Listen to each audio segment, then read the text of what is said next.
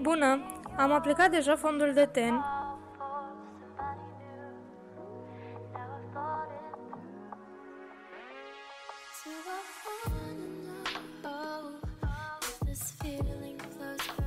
Continui cu primerul de ochi, care îl aplic ca de obicei pe plapa de sus și de jos.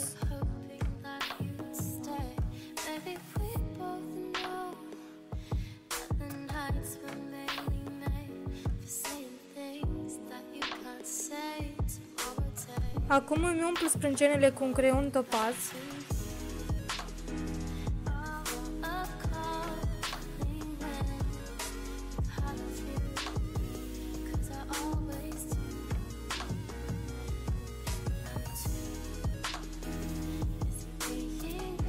Și apoi le pieptăm cu o periuță deasă pentru a le face să pară mai naturale.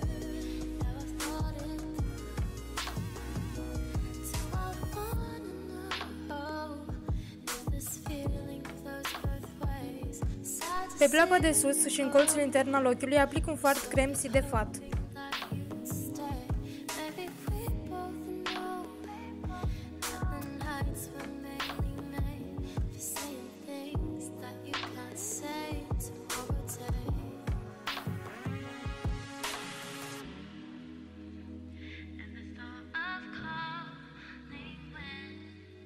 În colțul intern și extern al pleoapei de sus aplic un roz închis,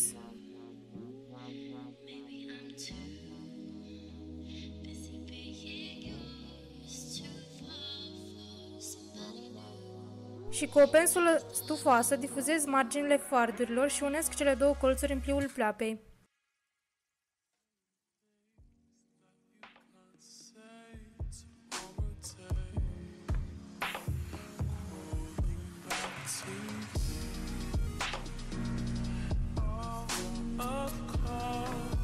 Reaplic bejul în centrul pleapei pentru a-l intensifica.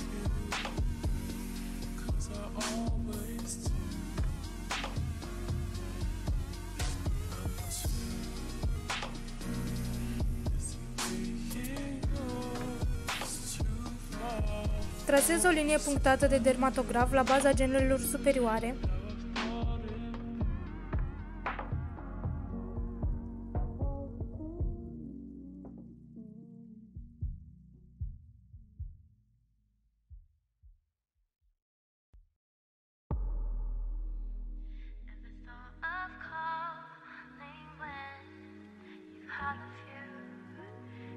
Difuzez creionul și îl extind printr-o codiță la sfârșitul ochiului.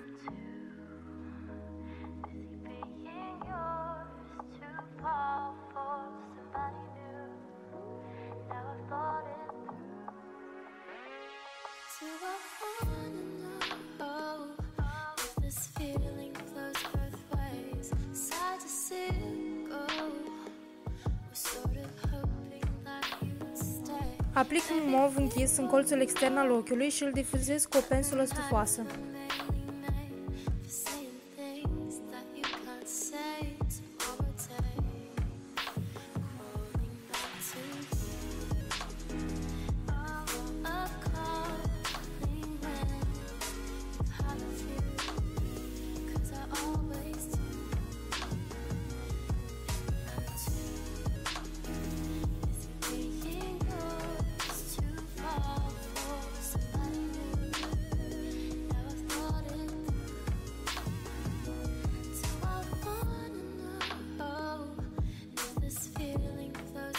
Acum iau pensula cu care am aplicat rozul și aplic și pe plapa de jos, repetând pașii care i-am făcut și pe plapa de sus.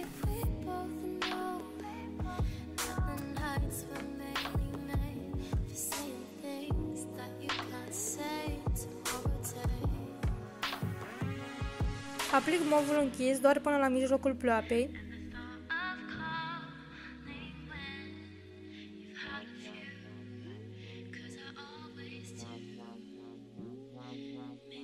și acum aplic un creion alb pe apa ochiului pentru a rezulta un efect de ochi mai mari.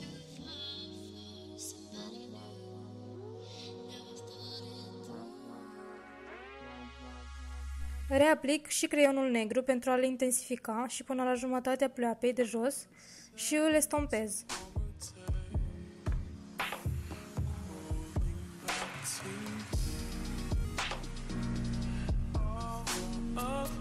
Și ultimul pas, iluminez pomeții cu un foarte de fat alb.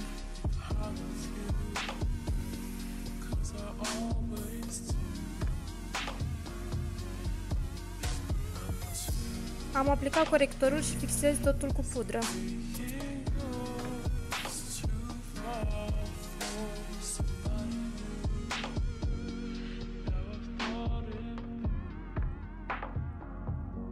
Ondulez genele și aplic câteva straturi de rimel.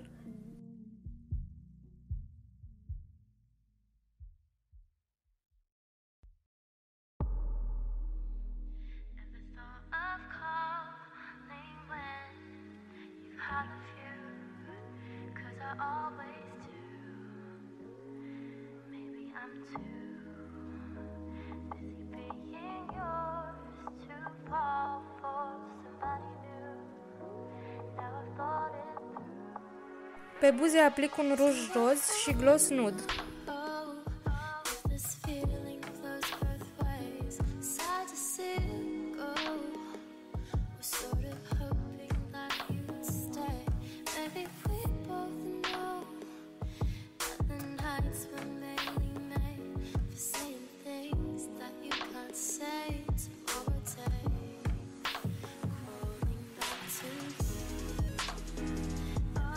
Acum conturez fața cu un pic de bronzer.